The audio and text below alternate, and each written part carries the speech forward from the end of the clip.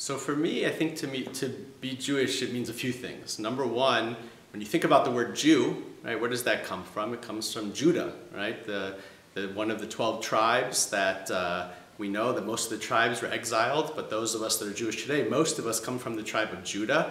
And what does Judah mean? Judah is from the Hebrew word, obviously in Hebrew it's Yehuda, which means todah, hodah, to give thanks. So first of all, what it means to be a Jew is that we appreciate. We appreciate everything in our lives, right? The Torah in, Avos says, who is a rich person? A person who is satisfied with what they have, who's happy with what they have.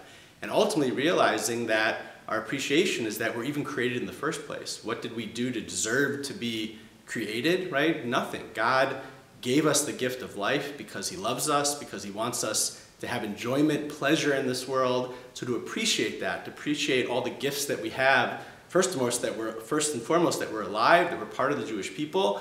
That's number one. Uh, for me, the second thing of being a Jew is that we have a message to give to the world.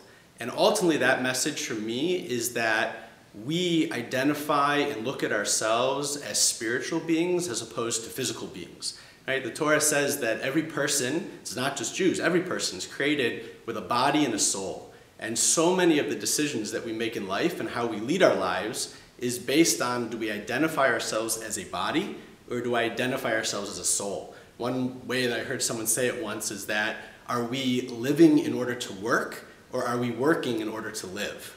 right? At our tombstone at the end of 120 years, is going to say, you know, Joe, you know, ate so many hamburgers and so many chickens, right? Or is it going to say Joe changed the world? He impacted people. He made the world a better place. And ultimately, that's are we identifying ourselves with our soul, which strives for wisdom, which strives for greatness, which strives to make the world a better place, which strives for real meaning and wisdom? Or are we identifying with our body, which basically is like, you know, I have a two-year-old, a two-year-old tantrum saying, I want this, I want it now, and it's just for me.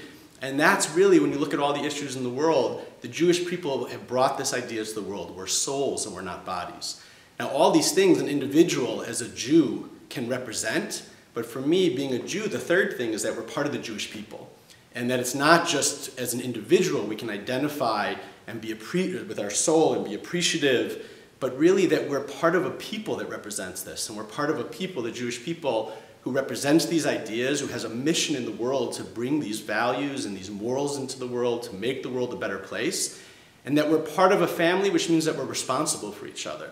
And so when there's a Jew anywhere else in the world who's in trouble, whether it's Israel as a country, as a state that's in trouble, if it's being attacked, I'm there to do something about it because that's my brother, that's my sister, that's my child, that's someone that I'm, I'm not going to push off. I'm not just going to read a headline and turn the page to the sports scores, but I'm going to say that's my brother, that's my sister, and that's, I'm part of this family and I'm responsible to do something about it.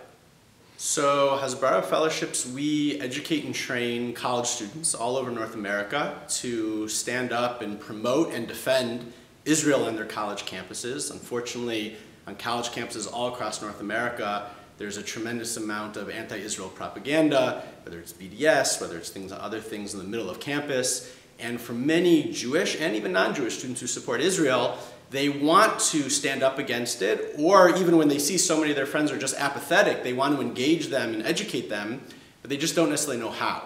So what we do is we bring students to Israel on a 16-day program. It's really the most in-depth pro-Israel advocacy training program in Israel that's out there and we inspire them, we educate them, we train them to go back to campus and stand up for the Jewish people.